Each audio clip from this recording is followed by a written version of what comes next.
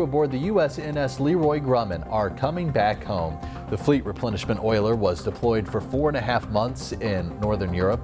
The crew was the sole replenishment oiler responsible for supporting nine U.S. Navy and Allied surface combatant ships. They're expected to be back at Naval Station Norfolk around 7.30 this morning.